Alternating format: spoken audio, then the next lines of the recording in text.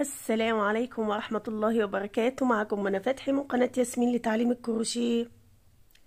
الصلاة والسلام على الحبيب المصطفى صلى الله عليه وسلم. من فضلك لو انت داخله قناتي أول مرة اضغطي على المربع الأحمر. اشتركي في القناة فعلي زر الجرس على الكل عشان يوصلك مني كل جديد. ولو انت مشتركة في القناة اتفرجي على الفيديو. لو عجبك حطي like. و comment حلو منك كده بيساعدني وبشوف رأيك في اللي أنا عملته. بحبكم في الله بحبكم بحبكم بحبكم وحشتوني جدا أجمل وأغلى متابعين على قلبي آه النهارده بأمر الله جاية لكم بغرزه تحفة يعني أنا خايفة تكونوا زهقتوا مني من كتر ما بقول لكم تحفة بس بجد بجد أنا بعمل عينات لغرز كتير جدا ما.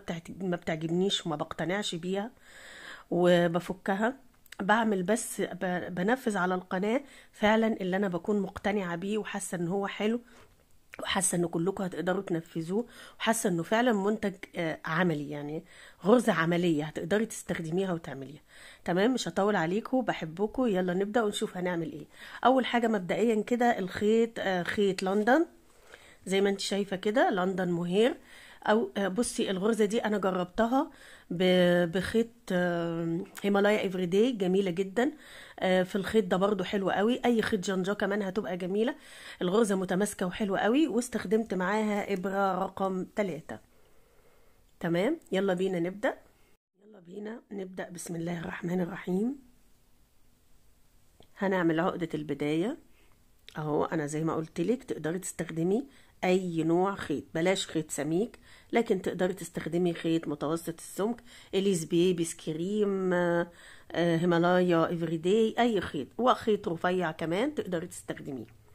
تمام؟ الغرزة دي تعالوا نتفق كده إن هي مضاعفات العدد 11 زائد 3 يعني هعمل واحد اتنين تلاتة أربعة خمسة ستة سبعة تمانية تسعة عشرة 11 يبقى أنا هعمل هكرر 11 11 11 11 وبعدين هزود 3 تمام؟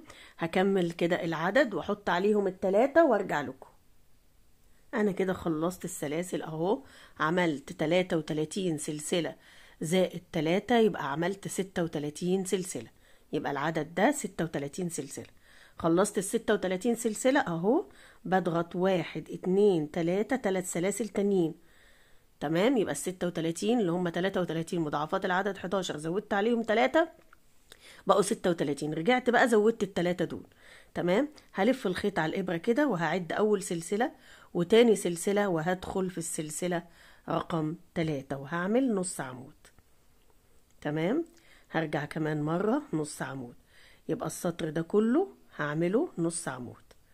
أهو يبقى أول round سهل جدا معايا. ومش هيتكرر. ال round ده مش محسوب معايا في طريقة الغرزة. تمام؟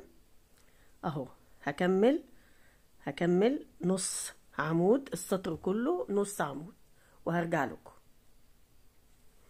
خلصت حبايبي أهو أول راوند اللي هو عبارة عن نص عمود زي ما أنتم شايفين كده. تمام؟ أهو هطلع كده بسلسلتين.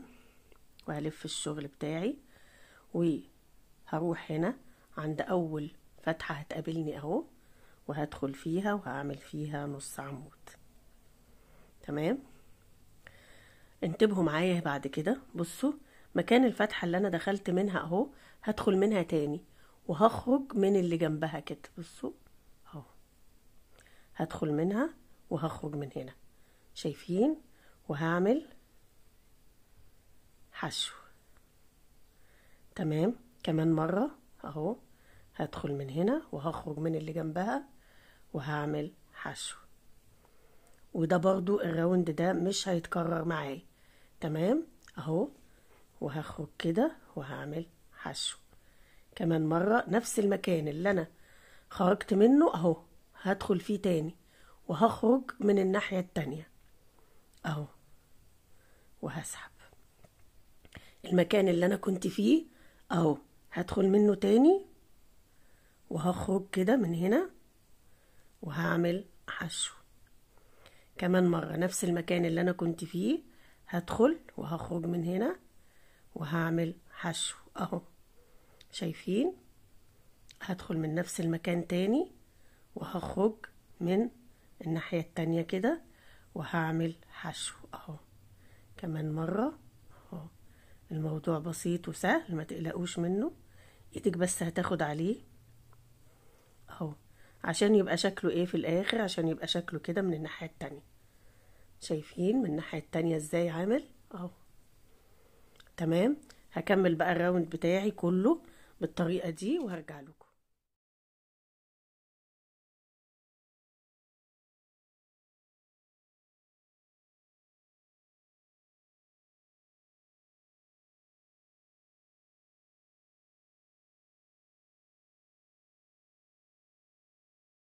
رجعت لكم عند نهاية السطر الحشو عشان ما تتلخبطوش.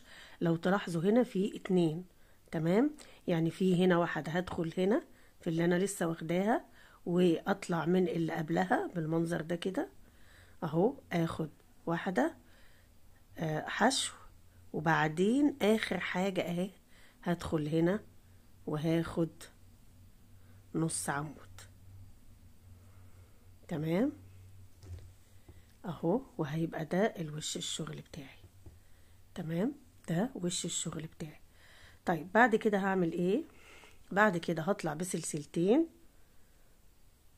وهدخل في أول فتحة هنا. أول فتحة هنا تقابلني هدخل فيها وهعمل نص عمود.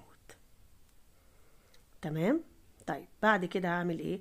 هلف الخيط على الإبرة وهعد واحد اتنين تلاتة أربعة خمسة ستة. بس أنا مش هدخل في رقم ستة من هنا.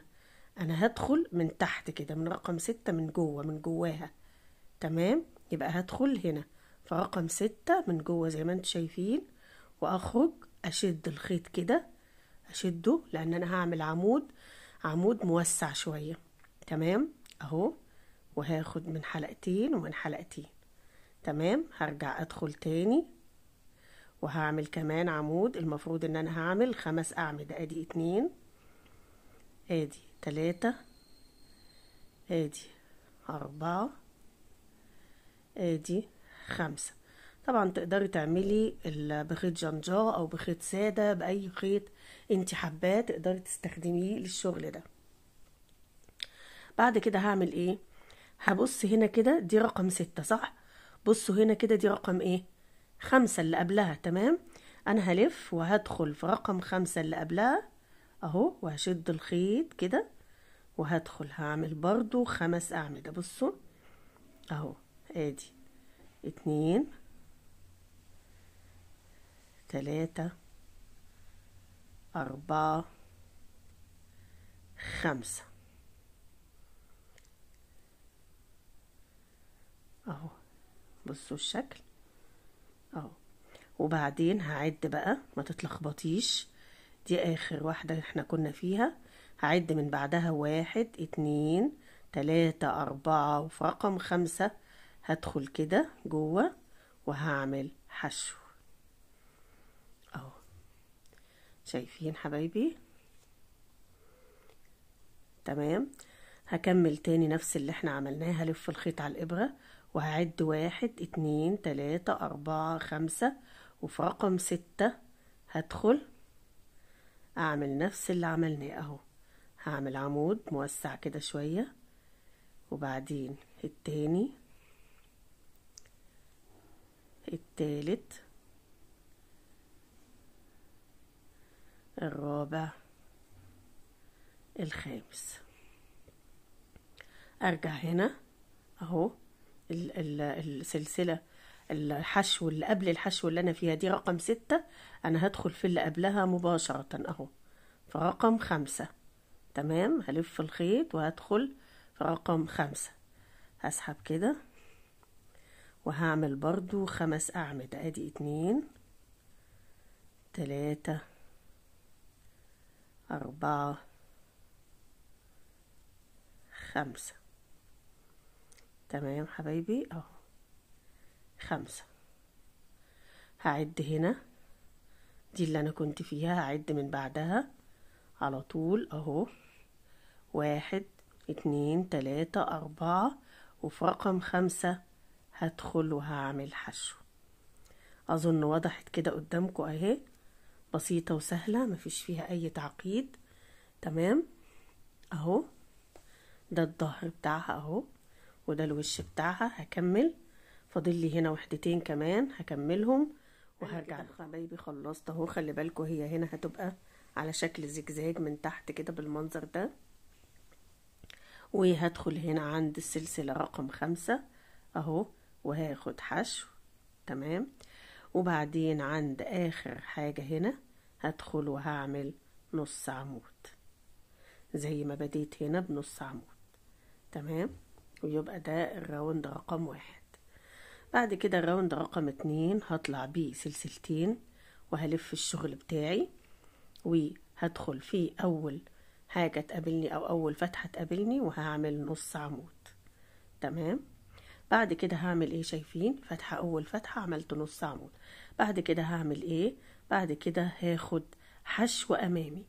يعني إيه؟ الخمس أعمدة دول هدخل كده من تحت وهعمل حشو. اللي بعده هدخل كده وهعمل حشو. أهو. الخمس أعمدة دول هعملهم حشو. هيجيلي بعد كده ده, ده لسه هو العمود الخامس. أهو. هيجيلي بعد كده الخمس أعمدة المتعاكسين. اهم هدخل برضو وهعمل حشو. أدي واحد اتنين تلاتة أربعة خمسة. تمام؟ عملت حشو أمامي. هيقابلني هنا. غرزة الحشو اللي أنا خدتها هدخل من تحتها برضو وهعمل حشو أمامي. بصوا بقى شكل ال شكل ال- اللي أنا عملته ده بصوا شكله هنا إزاي؟ بصوا شكله جميل أوي إزاي؟ شايفين؟ شايفين جماله؟ وده الخلف بتاعه برضو شكله في منتهى الجمال. هنكرر نفس الحكاية هنفضل شغالين كده. أنا عملت دي خلاص أهو برضو هدخل في العمود ده كده وهعمل حشو أمامي أهو. هكرر بنفس الطريقة لحد ما أخلص الدور كله عبارة عن حشو أمامي. تمام كده؟ لحد الآخر. رجعت لكم عند آخر حاجة بعد غرز الحشو. عند آخر حاجة أهو. وهدخل هنا كده وهعمل زي ما بديت هناك نص عمود هننتهي هنا بنص عمود تمام؟ ده ظهر الشغل أو تختاريه هي دبل فيس تقدري تستخدميها على الوشين وده وش الشغل بتاعي. لسه هيظهر أكتر دلوقتي لما نشتغل الدور اللي جاي. الدور اللي جاي بقى لو شفتوا الفستونات أنا عايزة الفستونات تبقى متعاكسة يعني ده فستونة وهنا فستونة وهنا فستونة. أنا هعمل هنا نص فستونة وهنا نص فستونة وهعمل فستونات في النص اتنين. إزاي هنعملها؟ اهو.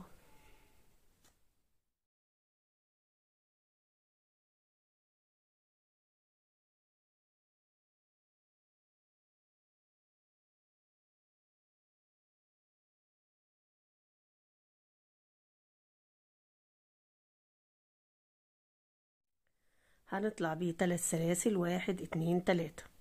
تمام؟ وهاجي هنا عند أول فراغ يقابلني شايفينه؟ أول فراغ يقابلني هدخل وهعمل خمس أعمدة مطولة. واحد أهو في نفس المكان. اتنين في نفس المكان. تلاتة أربعة خمسة. تمام؟ خمس أعمدة. هاجي هنا بقى هعد. دول عشرة تمام؟ هعد واحد اتنين تلاتة أربعة خمسة. وفي النص ما بين الخمسة والستة أهو هدخل وهعمل حشو. تمام؟ يبقى أنا عملت هنا في الطرف نص فستونة بس. نص فستونة زي ما أنتوا شايفين كده. طيب هرجع بقى ألف كده الشغل واجي هنا. هلف الخيط على الإبرة كده. وهروح هنا. فين غرزة الحشو اللي هنا؟ أهي. هطلع فوقها هلاقي دي فوق غرزة الحشو. أهي هنا. كده فوق غرزة الحشو. هدخل فيها وأوسع إيدي كده وأعمل خمس أعمدة. أدي واحد أدي اتنين تلاتة أربعة خمسة. تمام؟ أرجع أوسع لنفسي كده وأشوف الغرزة اللي قبل دي بالظبط أهي الغرزة اللي قبلها مباشرة هنا وهدخل فيها وهعمل خمسة. عمود موسع كده زي ما أنتم شايفين أدي اتنين. أهو تلاتة أربعة خمسة. تمام؟ عشان تبقى بالمنظر ده. خلصنا الخمسة هنعد هنا أهو. واحد اتنين تلاتة أربعة خمسة وما بين خمسة وما بين ستة. هدخل في النص كده وهعمل غرزة حشو. شايفين الشكل بقى إزاي؟ تمام. شوفوا الشكل حلو قوي إزاي. هكمل الفستونة دي بنفس الطريقة أهو. هشوف هنا غرزة الحشو دي فين؟ فوقها بالظبط. هدخل. وهبدأ أعمل الخمس أعمدة بتوعي والخمسة المتعاكسين. هخلصهم وأجيلكوا عند الآخر نشوف هنعمل إيه في نهاية الشغل. خلصت الراوند ده كده زي ما أنتم شايفين. بصوا حلو قوي إزاي والخيط الجنجا طالع جميل. تمام. هاجي هنا عند آخر حاجة أنا في النص هنا. هروح عند مش الغرزة الأخيرة اللي قبل الأخيرة وهدخل كده فيها وهعمل خمس أعمدة موسعة واحد.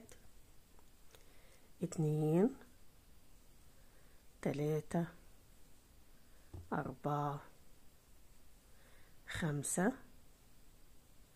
تمام؟ خلصنا الخمسة. هروح هنا بقى عند آخر حاجة وهعمل آخر عمود زي ما بديت هناك عمود. هنهي هنا بعمود أهو.